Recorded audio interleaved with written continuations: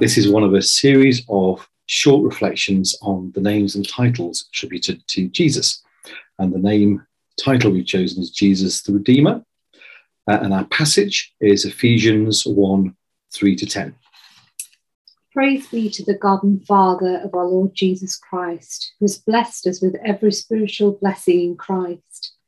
For he chose us in him before the creation of the world to be holy and blameless in his sight. In love, he predestined us for adoption to sonship through Jesus Christ, in accordance with his pleasure and will, to the praise of his glorious grace, which he has freely given us in the one he loves. In him we have redemption through his blood, the forgiveness of sins, in accordance with the riches of God's grace that he lavished on us.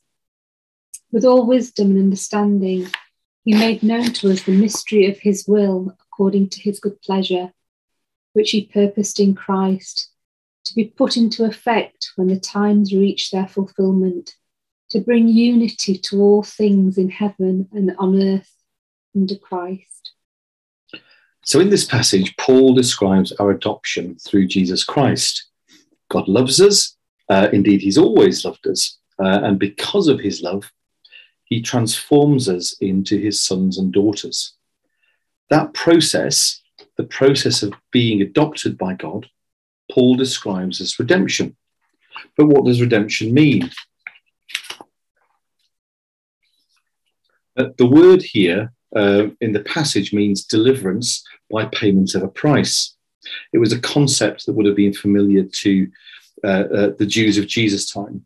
Uh, if someone fell into debt, which they were unable to repay, they could be enslaved by their creditor. And it was the, the job of the family to try to buy them back out of slavery by payment of the debt. The one that paid the debt was called the Redeemer.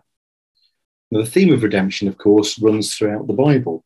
God is seen as Israel's Redeemer, who delivers them from slavery in Egypt. And again, as they return from exile in Babylon, the prophets spoke frequently of God's redemption of his people.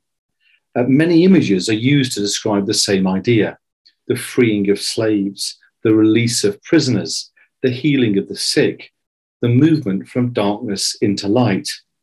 Here, Paul tells us that we have been redeemed by Jesus. We were slaves, uh, but now we are sons and daughters of God. A price had to be paid to achieve our release, but God paid it.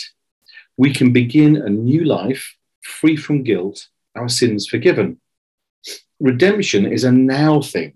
We are right now sons and daughters of God. It might not feel like it sometimes, but we are. Um, we might continue to live our lives as slaves, following the same patterns of behavior, but we no longer need to do so. The price has been paid.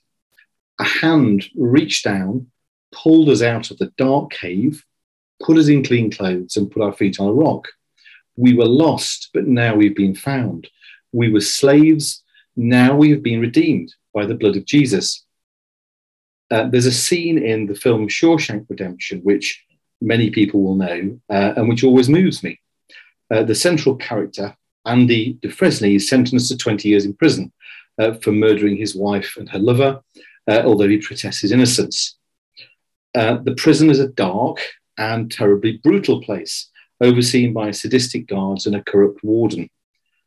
Andy finds himself one day working alone in the warden's office and he begins to play a record. Uh, it's an operatic song from the marriage of Figaro. He plays it over the prison tannoy. The singing is in Italian, but it is truly beautiful, and no one can quite believe what's happening.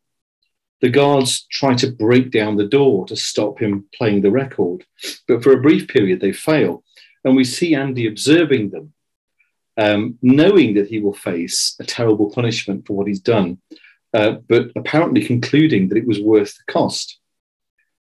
Every prisoner in the prison stops to listen, astonished.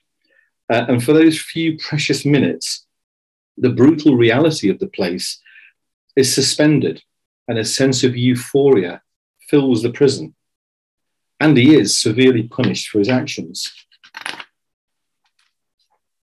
As the music plays, we hear Andy's fellow prisoner, Ellis Red Redding, recalling that moment, saying, I have no idea to this day what those Italian ladies were singing about. Truth is, I don't want to know. I would like to think they were singing about something so beautiful it can't be expressed in words and makes your heart ache because of it. I tell you, those voices soared higher and farther than anyone in a grey place dares to dream. It is like some beautiful bird flapped into our drab little cage and made these walls dissolve away. For the briefest moment, every last man in Shawshank felt free. Now, Jesus, I suggest, is like that bird, that beautiful bird. He has descended into our lives, He's freed us, He's made those walls melt away. And by His song, He points us towards a time when all sickness, pain, and anguish will finally dissolve. When, as Paul wrote in that passage to Ephesians, God will bring unity to all things in heaven and earth under Christ.